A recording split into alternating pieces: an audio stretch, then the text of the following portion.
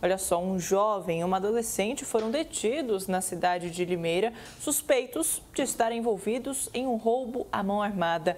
Um terceiro suspeito segue foragido. Quem acompanha esse caso é o Guilherme Selegato, que já está aqui com a gente. E é isso mesmo, então a polícia ainda segue na procura desse terceiro suspeito. Boa tarde a você.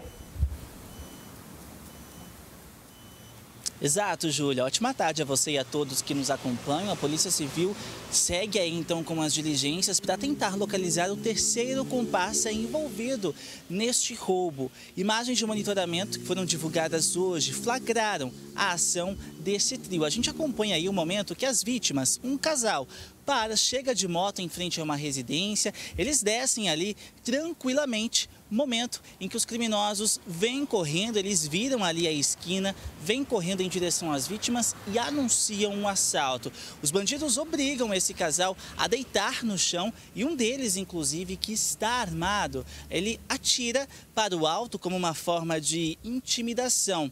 Logo depois, dois destes bandidos fogem nessa moto do casal, uma moto de alta cilindrada, moto de luxo, avaliada aí em mais de 80 mil reais. Dois desses bandidos conseguem então fugir no veículo. O terceiro suspeito, inclusive, como uma das vítimas está ali deitada, ele chega a levar alguns objetos, alguns pertences dessa vítima e, na sequência, foge correndo.